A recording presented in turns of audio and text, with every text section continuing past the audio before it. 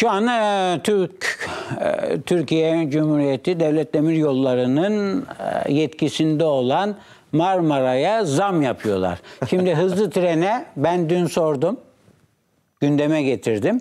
Dedim ki eğer TCD'de bütün hizmetlerinde yüzde yirmi zam düşündüğü halde Marmara'ya İBB düşünülenin üzerinde zam yapıyorsa bu yanlıştır, vicdansızlıktır.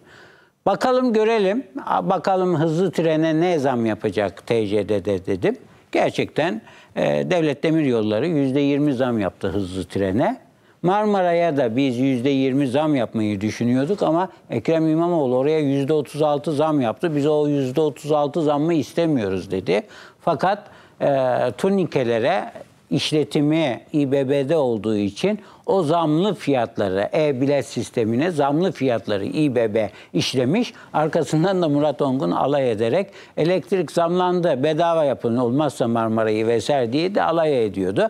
Şimdi Murat Ongun çıksın bir azıcık bir minnacık bir dürüstlüğü varsa helal olsun TCDD'ye. Hızlı treni de %20'ye zamlandırdı. Marmara'yı da %20 zamlandırmayı düşünüyormuş demek ki. Ama biz kalktık, ukalalık ettik, %36 zam yaptık.